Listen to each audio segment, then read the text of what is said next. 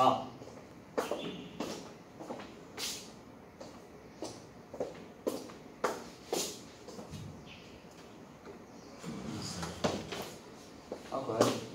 Oh. Did I write anything down here? Forgot. Okay, no. It's okay.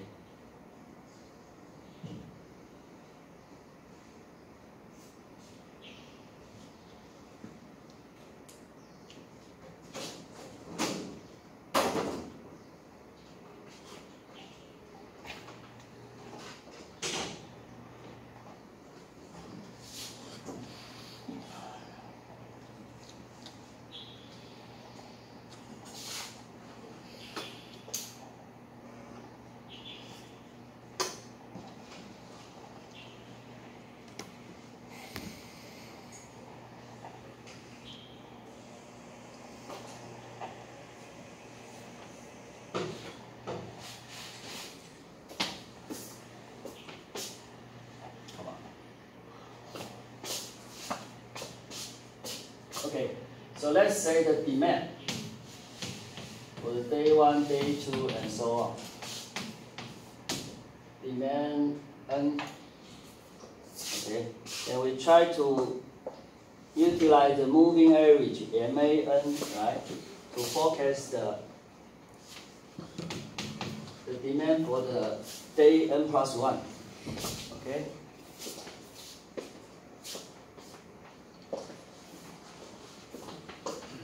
salary. Yeah, okay. Maybe I just put the numbers, uh, not overlap the shadow. Okay. So we have B1, B2, and so BN. Okay, we try to use the MAN here to forecast the demand for the day of N plus 1.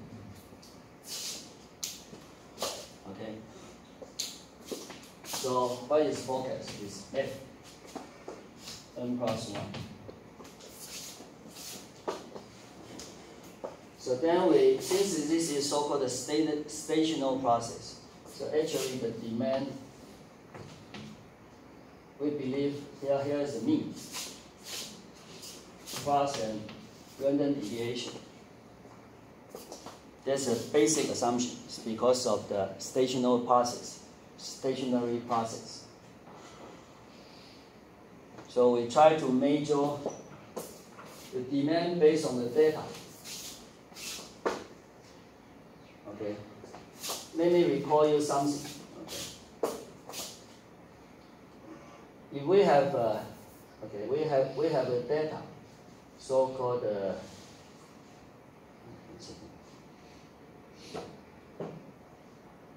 okay.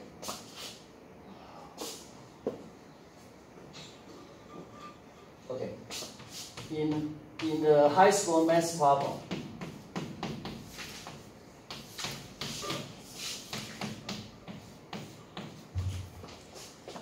what is the number for x can minimize this the sum of this. So this is the so-called f of x.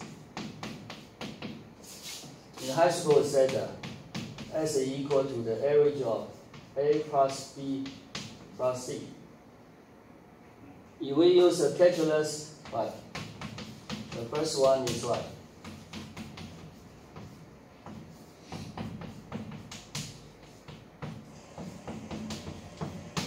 Right?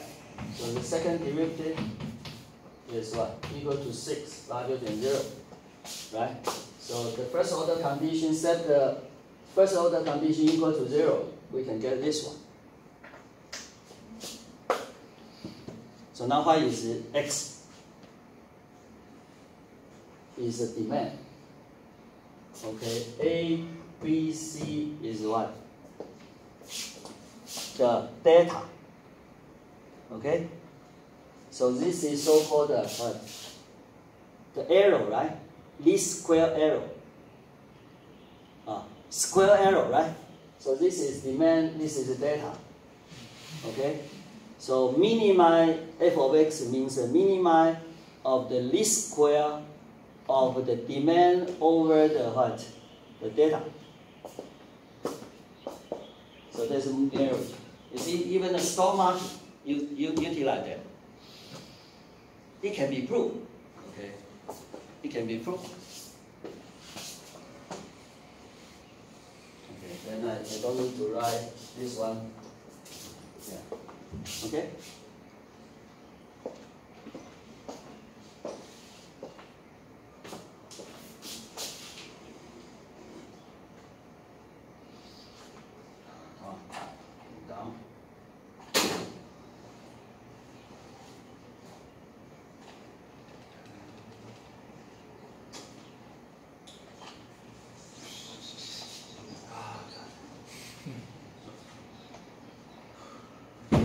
I, I would prefer it is not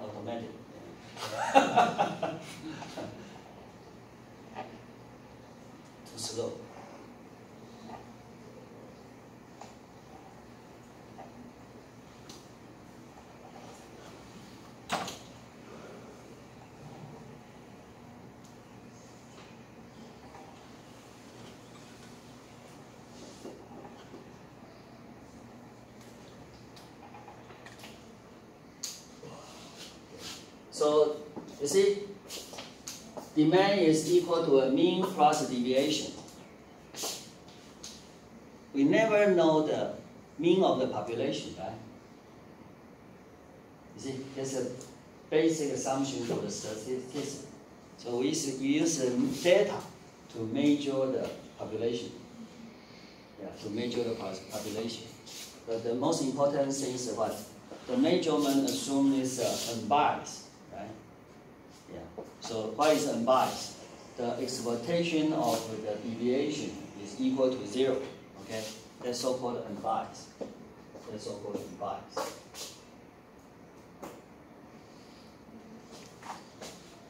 Now we can go for the MA3. But the MA3 is never utilized by the stock market. It's MA5. Okay, MA5 because of what? Business cycle. Five working days in a week, right? And not 20 working days in a season, right? In a month, okay? And MA 60 is what? 60 working days in a quarter, right? And so on. Yeah. Yeah, yeah if you are this one. Okay. So if we have uh, three data, okay, then we, we can expect it, the demand for the April, and so on, and so on.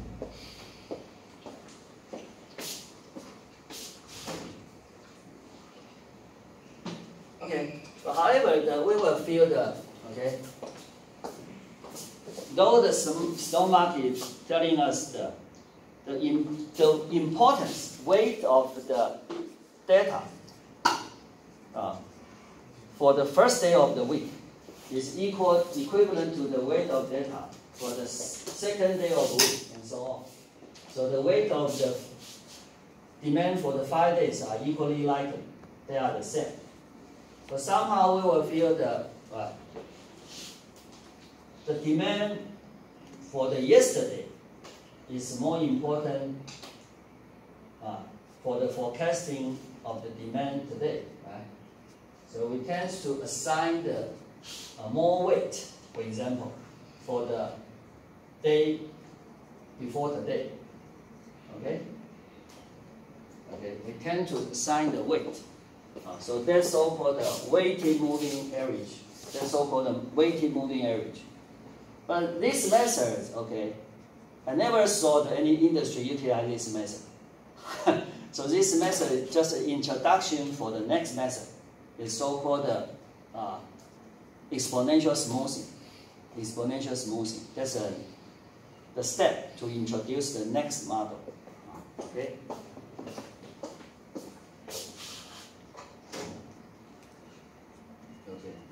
So based on the weighted moving average for the same data, okay. So we give the, so the total weight is how, how much? The total weight is 15.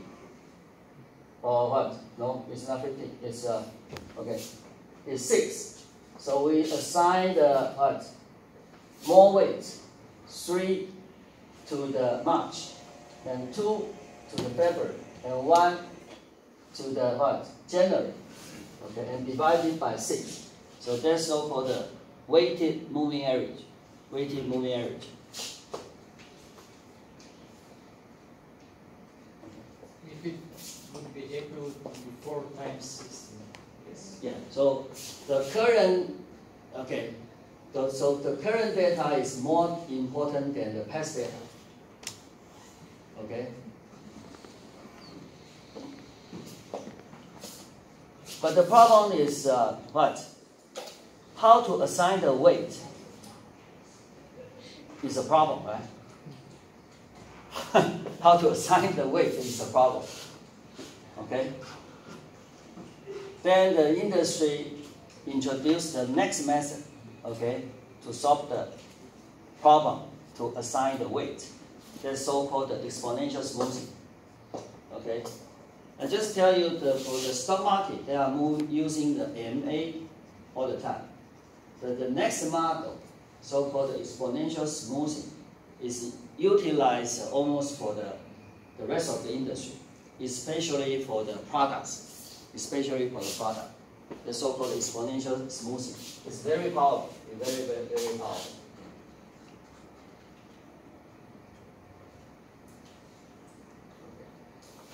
Average has a problem.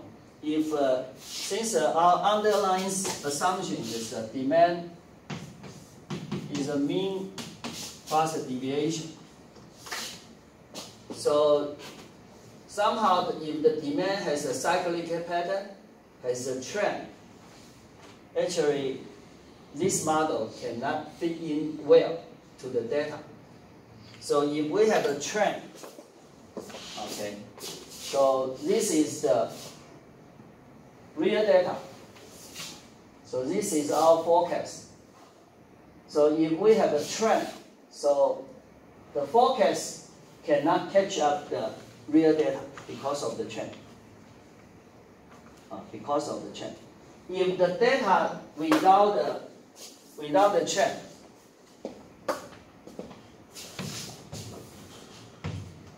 here is mean going around the mean, okay? Going around the mean if, without the trend. But however, if we do have the trend, then the forecast cannot catch up. See, this is an increase, right? You will take here, same demand level, okay? But our forecast will have uh, what? One or two months behind the trend. Here is 20, okay? May. 20, I mean 20 in May. 20 in May, right? We forecast what? 20 in June. Okay? Again, we have 25 in January, in June. Okay? Then what? Yeah, lay behind the trend. Because the model doesn't have this kind of mechanism. So it never can catch the trend. Right? That's so-called behind the trend. Behind the trend.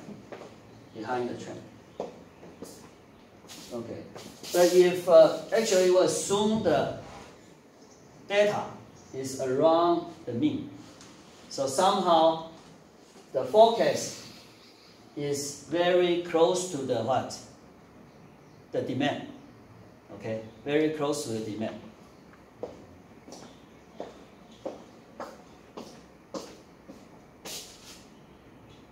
With me? Any questions?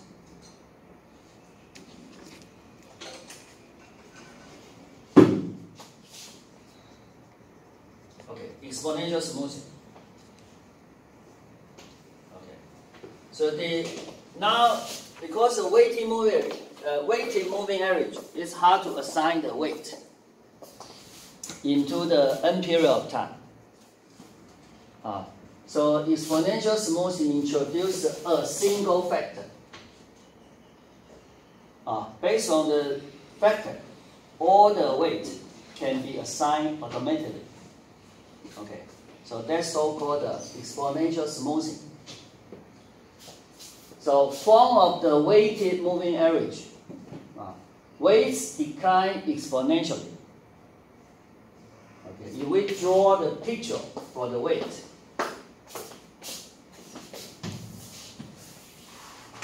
so this is the current time, and this is the past time.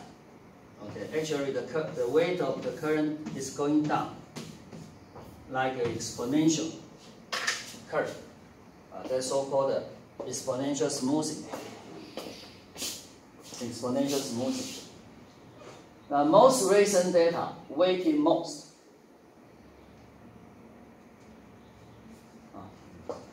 Requires smoothing constant alpha, range between 0 and 1. If alpha increase means uh, we treat, we put more weight uh, in the current day. Okay. If the alpha very close to what? Zero, the what? The past data is more than, more important than current data. So what you what, what will you do? Put more weight on the current or put more weight in the past? So it's a subjective choice. Actually, it's based on the industry. It's based on the uh, division of uh, company. Has a different opinion. I will introduce uh, the opinion later. Okay. So that's a for formula for that.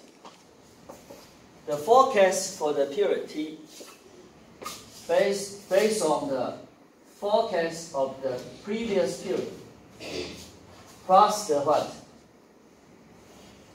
This is the what? This is the difference between the actual data and the forecast. That's an error of the forecast. That's an error of the forecast. That's an error of the forecast. Uh, that's an error of the forecast. Okay? So alpha is the weight of the error of the forecast. Uh, this is the uh, past forecast. Past forecast.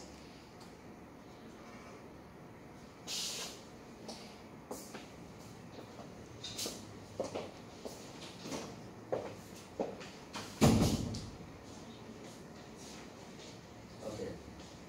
Let's take an example. So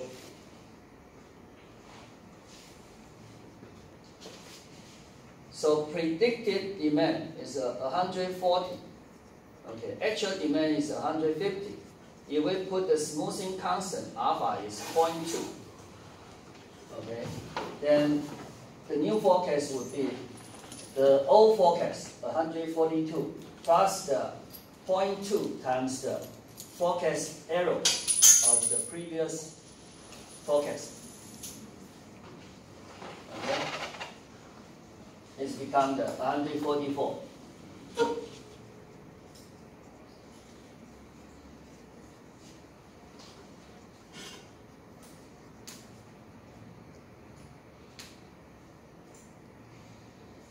Okay, now let's go back to the previous slides.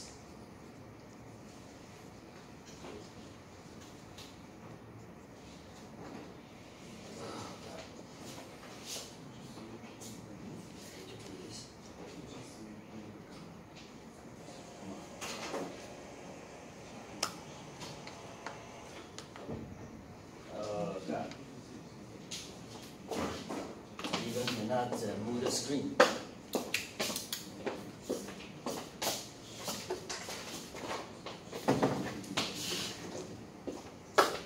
Okay. Let's uh, rewrite this formula. Okay, I put it here. So ft is equal to okay alpha t plus what? One minus alpha ft minus one. Okay, then we continue rewriting. become the A plus 1 plus 1 minus alpha times F sub t minus 1. This become what? Ft minus, uh, become the alpha At minus 1. Okay, plus what? 1 minus alpha Ft minus 2. Okay, then this term becomes the A minus 1 plus the what? Alpha times 1 minus alpha at minus, sorry, here is 2. Okay, plus 1 minus alpha squared times ft2. Okay? So the important thing is that here is the actual data. And this, we continue the process.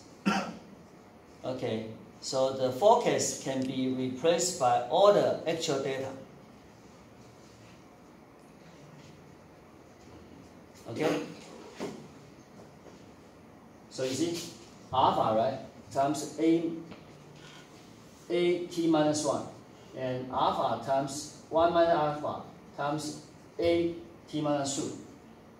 So the weight from alpha become alpha minus 1 is what?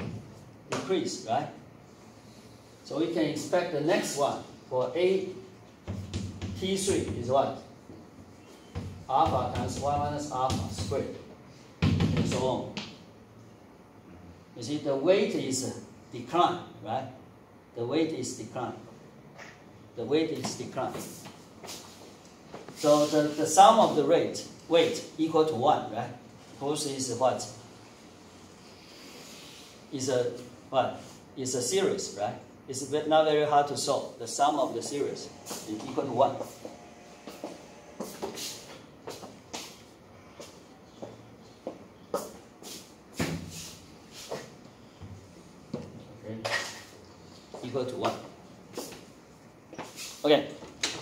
Remind you, I, I won't test you about this formula and deviation in the midterm or final, okay? I just show you the underlying argument, how to prove it, okay? Since this is not the purpose of this course, okay, don't worry, okay?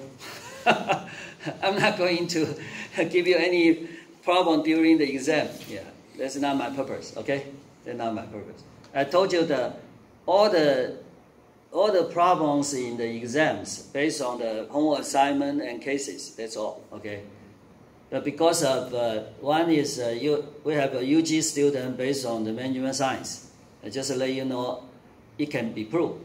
And for the student in the MBA program, well, you got to believe. Okay. this is a very useful tool. Okay. yeah. Okay. Actually, I have a slide you can show that. Yeah, okay. Not the purpose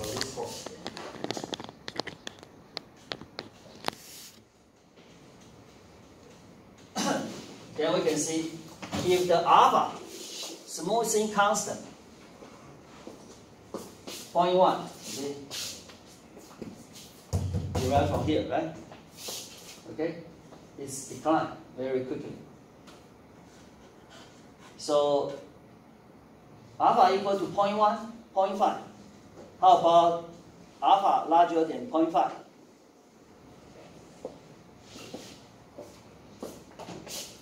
Okay. For if we have uh, three divisions in one company, for the salesperson, or maybe let's compare the salesperson and the and 这个 engineer manufacturing side. Salesperson would like to have uh, methods to have a good response for the actual demand, right? That's uh, how salesperson do. Agree? So how about the manufacturing manager?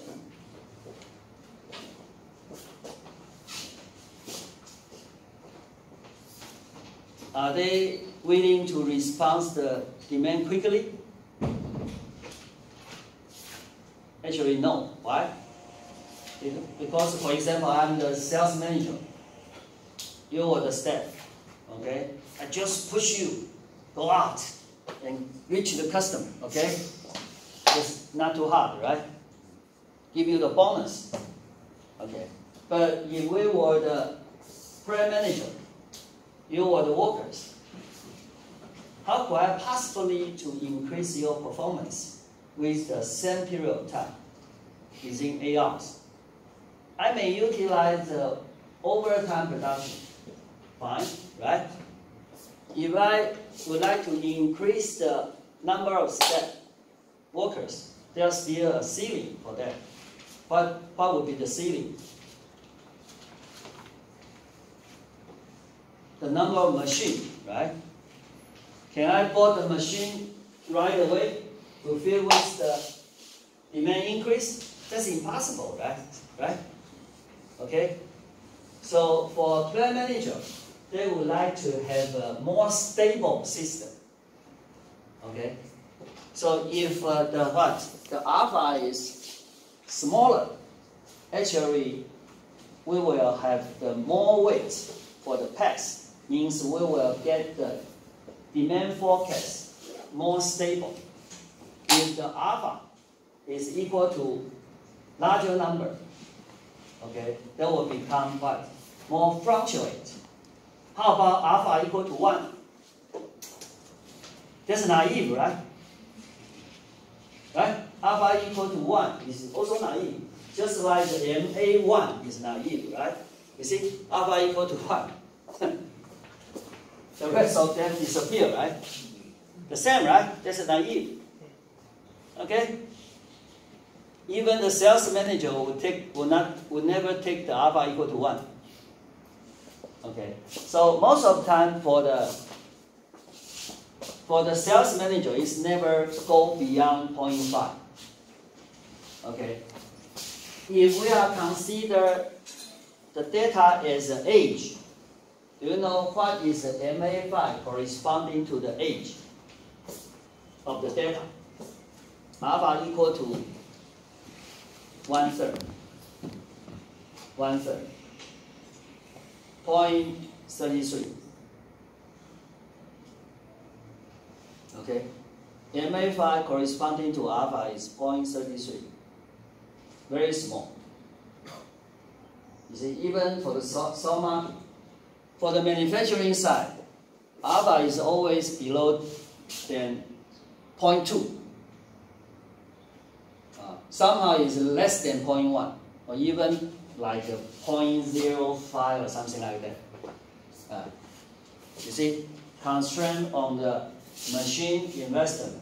That's the mid-range planning, right? Okay.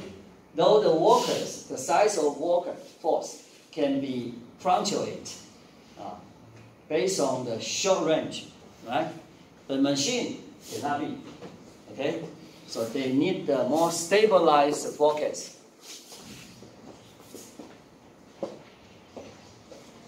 You know the uh, about during the age of the uh, uh, the functional phone sales peak in Taiwan. Okay, had a friend.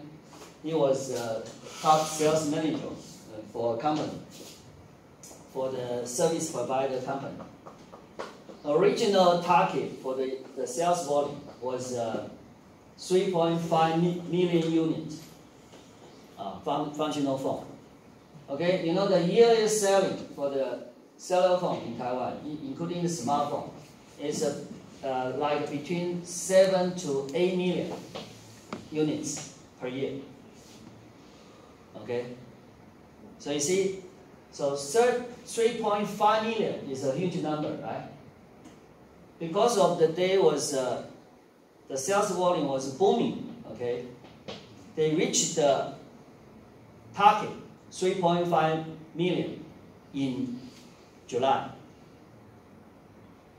So they, what, rescheduled the forecast at 5 million. But that will never happen in the manufacturing side. That's impossible. that's impossible. Right? From 3.5 to 5 million, that's impossible. Yeah. Capacity cannot be as smooth as uh, Salesforce. No, that's impossible. The limitation is always very clear. Yeah. You see, that's a result of forecast. With alpha equal to 0.1, that's a red. Relatively smooth. So how about alpha equal to 0.5? If you were the plant manager, yeah, wow, you should kill yourself. Yeah. that's, that's impossible to control. that's impossible control. Yeah, that's impossible control. Yeah. So then, however, the blue one is actual demand. So sales manager will be able to what?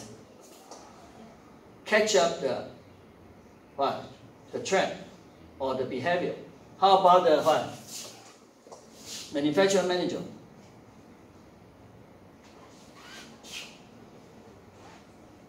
Using the inventory, right? Pre-production. Store the units, right? And then release the inventory to satisfy demand and so on. So overtime production and the inventory, okay, are the keys uh, for the manufacturer manager, okay, but not for the marketing manager. No, that's a different different phenomenon, totally different. So that's another problem for a company. If the company has a marketing department and a manufacturing department, they got to have a single forecasted plan, right? Ah. Okay, Delphi again. Try to integrate forecast through the expert opinion. You know what? Nowadays, so-called demand management, okay? Based on the Delphi, okay? Uh, every manager will be able go on the website uh, to utilize the company's software to input the forecast. Okay? Based on the company's history, based on the manager's behavior, okay? And we plug in into the network, okay? There's a very decent uh, computational software, okay? Try to smoothing the uh, opinions from different layer of manager, okay, into one forecast into one focus, into one focus.